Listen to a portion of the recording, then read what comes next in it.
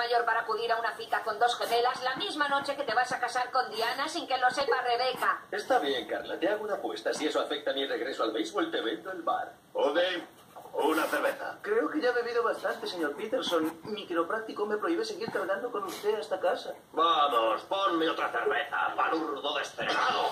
¡O te mato! ¡Os mataré a todos! ¡Tranquilízate! ¡Reserva tus energías para el karaoke! Sabéis que os quiero.